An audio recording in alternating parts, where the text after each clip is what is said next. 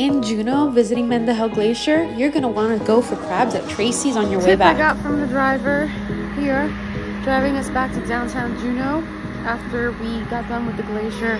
A second Tracy's Crab Shack, not far from the port. It's just not in downtown, and that is where you want to eat.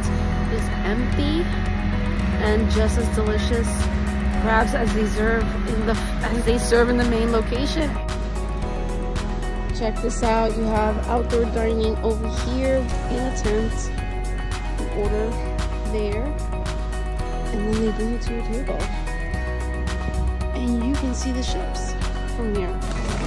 We got rolls, beer battered shrimp. Oh, some Alaskan king crab One of them is red, the other one is yellow. Pound each.